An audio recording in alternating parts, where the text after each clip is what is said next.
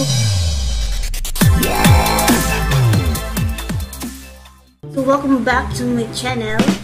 And today's vlog, magkakaroon tayo ng Eating Lemon with No Expression Challenge. Okay, it was tagged by our co-YouTuber, teacher Fem Elise. Yes, this. Fem Elise. Ayan. Thank you, teacher, for tagging me. Ayan. So, gagawin na natin.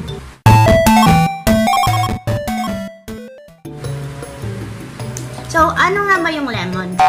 Lemon in scientific name is lemon, as in lemon. L-I-M-O-N. Lemon. Let's start. And so, in one piece of lemon, meron tayong 8 slices. So, mm-hmm. Kaya mo, atrasan kita, teacher? No way. No, no, no, no, no, no way. Sabihin tayo dito. So, no expression. No, no, 100% no expression like this. Poker face. Okay?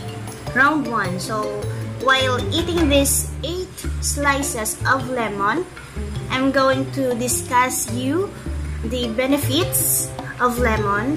Uh, what is lemon? Whatsoever. okay, let's start. Number one. Okay. Let's start. May buto. Sandali na. Para diretso. May ice cream sa labas. Let's do this.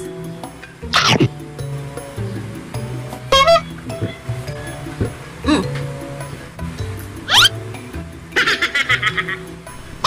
So, nag-research.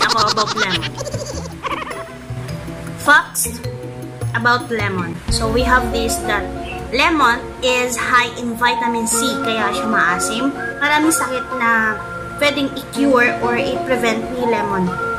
So, si lemon ay hindi lamang katuwaan lamang siya or for challenge-challenge whatsoever. Meron din siyang malaking tulong din siya sa ating katawan. Since si lemon ay rich in vitamin C, siya din ay isang powerful antioxidant.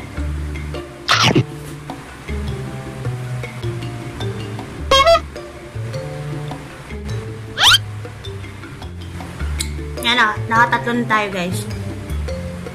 So, si lemon ay nakakatulong din, no? Sa mga taong merong asthma. At saka, preventing cancer. Na tayo sa pang-apat. Pang-apat. Si lemon ay pwede din gawing juice, no? Kung may juicer kayo, pwede din siyang gawing juice. Uh, pwedeng dessert, pwedeng gawing tea, no? Diba, ginagawa siyang lemon tea. And then, ginagamit din siya sa salads or sa cooking. Apat.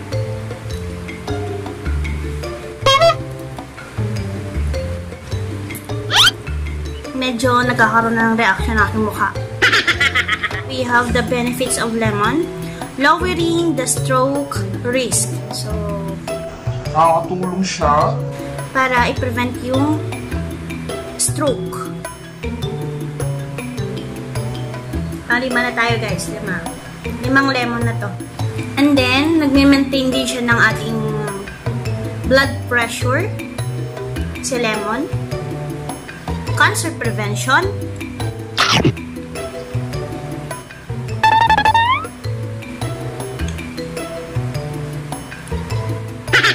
Talagang pinipigilan ko na maintaining the uh, healthy complexion kasi nga rich in vitamin C siya.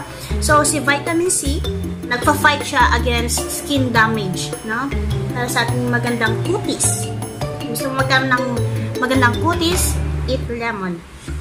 Yan, dito na tayo sa pang-anim, guys. Pang-anim na. So, dalawa na lang natitira. Teacher Fem, dalawa na lang. And then, preventing asthma, no? Gaya ng sinabi ko kanina. Nangangasim na ako.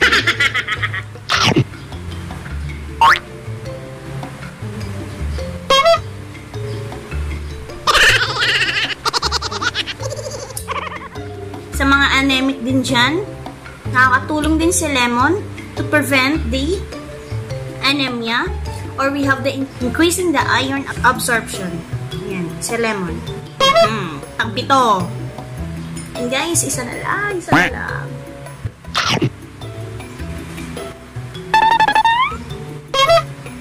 So, si lemon din, guys, is nabuboost din siya ng ating immune system. The best partner ni lemon ay si honey. Honey with lemon. I-juice mo. Okay, we have the last. Medyo gumagana na yung mata ko. Have the last. The last slice. So, kung gusto mo magpapayat, so, nakakatulong din si lemon to lose your weight. Okay? Kasi nga antioxidant siya, may kakayahan siyang ilabas lahat ng mga toxics sa ating katawan. You have the last slice here.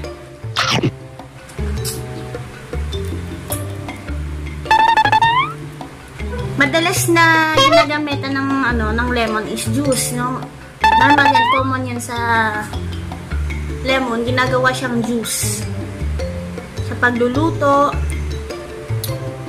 And yung iba blend, bini-blend nila. Nanginilo ang aking ngipin. Buto na lang. Nasa huli yung kilig. But then, guys, wag na wag kayong iinom, no? Iinom ng lemon or kakain ng lemon nang wala pang laman ang iyong mga tiyan. Kasi nga, si lemon ay high in acid, no? Kasi nga maasim siya. So, never, never do kung may ulcer ka. Kasi, nakakasama yun sa inyong katawan. Be balanced lang, no? Hindi pwede masobran ka ng asim, hindi pwede masobran ka ng tamis, hindi ka pwede masobran ng pait. Balance. Balance, no? Um, pwede kasi magkakaroon tayo ng mouth ulcer, yun, no? Nung nagkakaroon ng ano dito, yung mga bitak-bitak. Yan. Yung dito sa gilagid. Yan. And then, uh, the worst is magkakaroon kayo ng gastroesophageal, ah, esophageal, esophageal reflux disease. Gastroesophageal reflux disease. Okay, or GERD. Nagkaroon ng heartburn and regurgitation. Whatsoever scientific name na tawag dyan, mga medications, na yun, yun, yun yung magiging epekto pag nasobrahan ka ng asim. So, balance lang tayo guys, balance. Sa mga nagda-diet dyan, no, highly recommended si, lemon. Para for anti-oxidation, ox, on, ox, oxidation, oxidation, so ever. And this is prevention and achieving good health because health is wealth. Yeah. And those hindi pa nakasubscribe sa aking channel, don't forget to subscribe down below, down below, and hit the notification bell. Like and share this video. And guys, I want to tag also this person. Yeah, you, yes you, the Rompadora in Hong Kong, no? I tag you, Darling Luna. I tag you, Jenny Fuertes. And I also tag you, Greenish Miles. Kala nakita kayo sa akin. And I also tag you, sino pa ba? Sino pa ba?